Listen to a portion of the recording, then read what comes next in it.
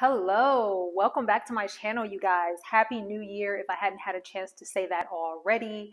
I wanted to just sit down and make a New Year video with you guys, introducing you a little bit more to me personally and letting you in on why I actually decided to study and become a social worker. I make a lot of social work videos, but let's just rewind it back and talk about how I even got interested in this field because this wasn't always an area I thought I would go in, to be honest. So if you're interested in hearing about my story and why I became a social worker, then keep on watching. But before we jump in, I want to let anyone who's new here know that my name is Gabby Taylor.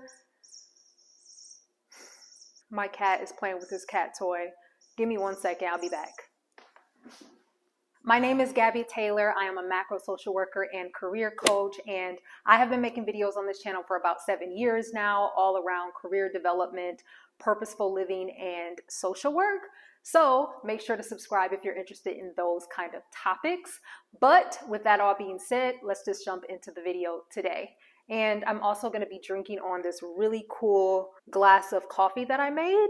So if you have a beverage that you'll like to sip on during this video, make sure you grab one because this may be a little bit long. To rewind it back a bit, I grew up in a neighborhood that had some challenges. We'll just say it like that. I grew up in a neighborhood that had a high number of Black and Hispanic residents, and it was definitely a more working class neighborhood, and it came with some challenges. So, some situations that I remember in my neighborhood growing up was gang violence. So, at the time when I grew up in the 90s, that was kind of a bigger thing. So, we did experience that. Um, there was also some gun violence. So, even at a young age in elementary school, I remember losing some classmates to gun violence. And it's really sad to think about, but I've lost friends, acquaintances, classmates, and even family members to gun violence. So, if that kind of explains where I come from, I think that will help to paint the picture of why I got interested in social work. I didn't really know social work existed at that time,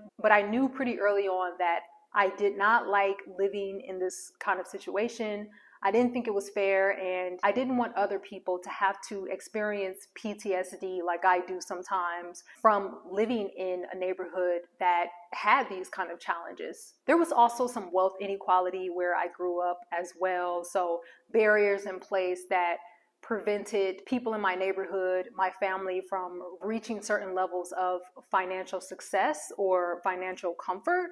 So, you know, that's where I was coming from. But I also went to a high school that exposed me to other people and other experiences that my classmates were living. And at that moment, I realized that, you know, I grew up having less resources because I would see what my classmates had what their parents had compared to my own situation. So that was my first experience with that wealth gap that exists in the United States. And I didn't know exactly how I wanted to make a difference. I didn't even know social work existed. And even if I did know about the field, I didn't really know the ins and outs of it. I probably thought, like a lot of other people, that it was mostly related to child protective services. The point I'm trying to make is that I knew I wanted to be a part of changing things so that other young people would not have to experience what I experienced.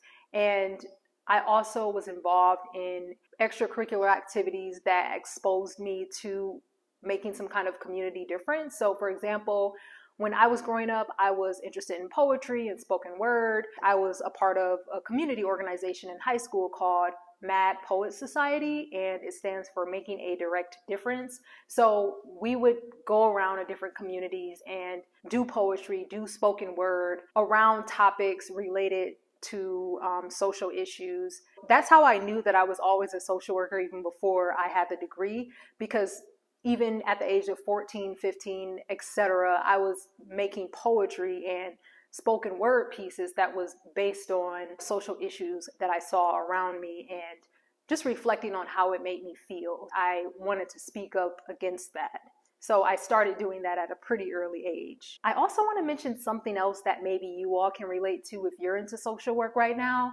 But I originally got interested in social work and psychology because I wanted to figure out how to fix myself. As I mentioned, I did have family members and friends who lost their lives due to violence and due to living in the circumstances that they were living in. And that caused a lot of PTSD. Even to this day, I still have anxiety around those issues that happened when I was very young. But originally, I got interested in psychology and social work because I wanted to figure out what was wrong with myself. I knew I was experiencing PTSD. And I knew that there were certain blockages in my life based on what I had gone through. I wanted to figure it out. I wanted to make myself whole again. So, if you are interested in social work, I would love if you could just take some time to think about if this is also the case for you because I find that this is pretty common. Actually, I have a friend who told me that her psychology teacher in undergrad told everyone on the first day of school that they should probably seek counseling because the mere fact that they're interested in this class probably showed that there were some internal issues within themselves that they were curious about learning how to fix and improve. That's just an interesting fact that I wanted to bring up. Um, not only did I want to study social work and psychology to better understand the world around me and how I can make it better, but also so that I could get information and knowledge to help myself as well. Originally, when I started thinking about social work, I wanted to become a psychologist. I wanted to do direct practice.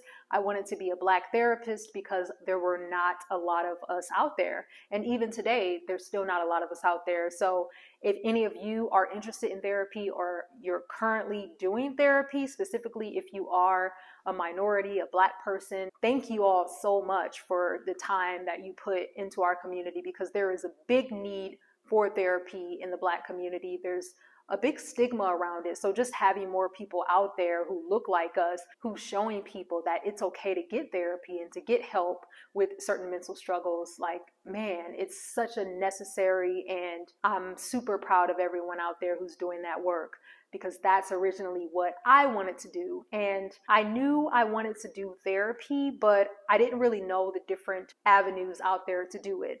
Originally, I thought the only way to do therapy was by being a psychologist. I thought I had to go the PhD route and, you know, go to school for 5 to 7 years, get that research experience, etc.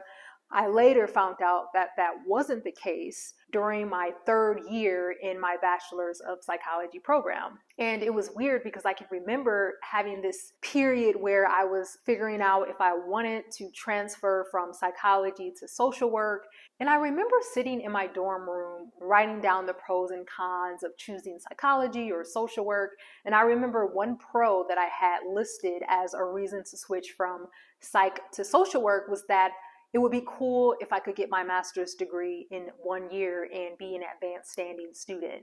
So that's something that you all may want to think about um, if you're in like a si- similar situation, trying to figure out if you want to get your bachelor's in social work or something else. I you know, in the end, decided to just finish my bachelor's in psychology because even though I disliked math and I didn't like my statistics classes, I knew that it was a challenge for me and it was an area that I wanted to grow in and become stronger in. Because, kind of going back to me talking about the background that I'm from, I didn't really get a strong math foundation growing up. I remember you know, the public school system was a little bit crazy and the teachers were more focused on ending disruptive behavior as opposed to just hardcore teaching. A big challenge that I've always had was math. Studying psychology gave me that opportunity to really overcome that challenge and to grow in that way, I knew that I wanted to have a strong hold and grasp on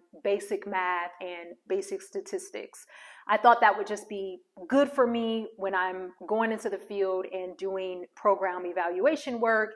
And also just for my own personal reasons, I, I didn't want to run away from math and statistics classes. I had already like started that journey of getting through those classes and I felt that I would be giving up if I stopped right in the middle and switched over to social work, which was less math intensive something to think about. If you're not like me and you hate math and you don't really want to challenge yourself to get better at it, maybe social work is a better fit than something like psychology or another bachelor's degree that may be heavier in math.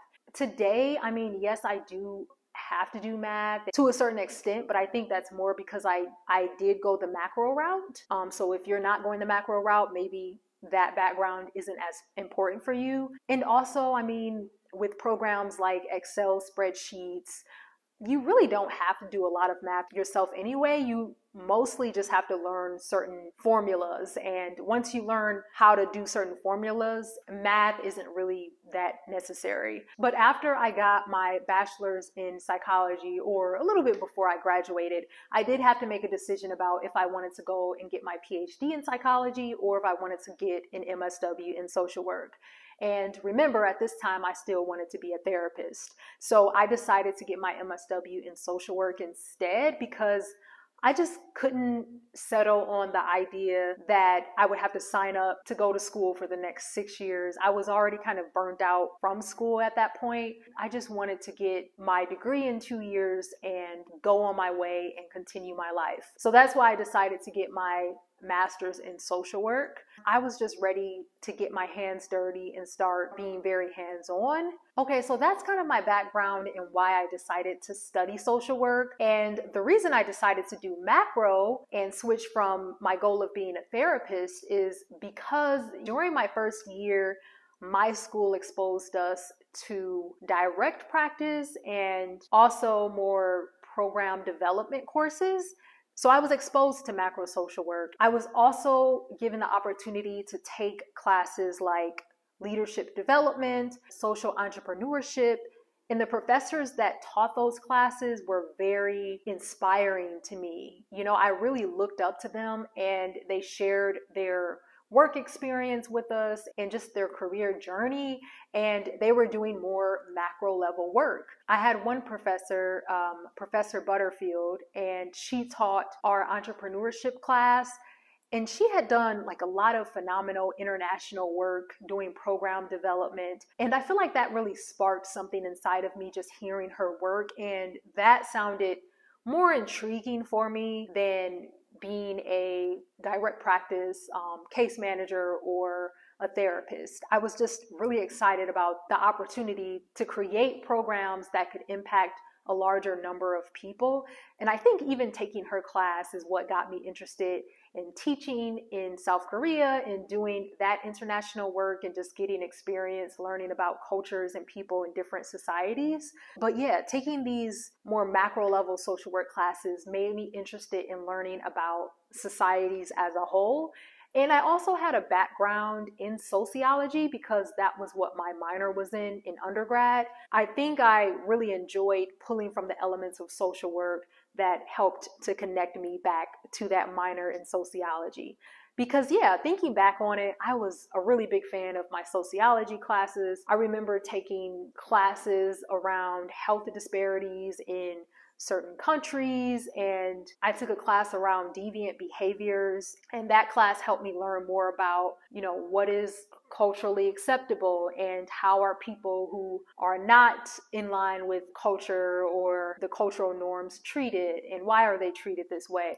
So, yeah, all of that was very interesting and is ultimately what helped me to decide that I wanted to go into macro. To kind of sum everything up, I decided to go into social work because I have life experience that taught me pretty early on that life is not necessarily equal. You know, there are some people who have it a bit easier than other people, and there are folks that are dealing with issues in society that are not due to their own choices or, you know, it's not something that they kind of brought about themselves. It was just based on where they grew up, the family dynamics, their environments, you know, all of that impacted their lives in a certain way. And when I say they, I mean me and the people in the community that I grew up in. We didn't necessarily have it the easiest. And no fault of our own. So I wanted to just give back in my career to people who grew up in communities such as myself. And I particularly was interested in helping other Black people who was economically disadvantaged and didn't come from communities where there were a lot of resources.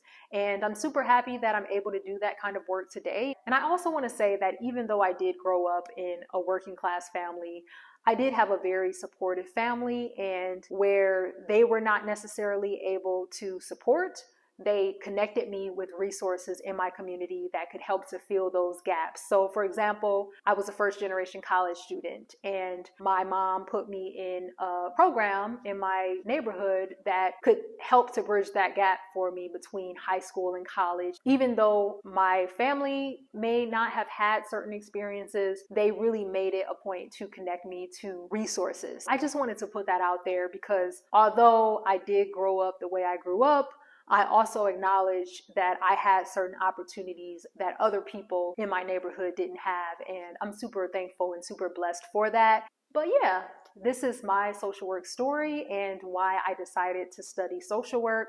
I think we all have unique stories, especially because social work is such a purposeful kind of career. It's I don't think anyone just lackadaisically, I don't know if that's a word or not, but I don't think anyone just chooses social work on a whim. I think most of us have a story about what made us want to go in this field. Please tell me your social work story down in the comment section. I'm super curious to learn more about you guys and to learn more about where you're coming from and what your backgrounds are. I know there's people from all over the world who watch my videos, so I'm super curious to learn more about you guys. Thank you so much for watching my video today, and I will talk to you in my next video. Bye bye.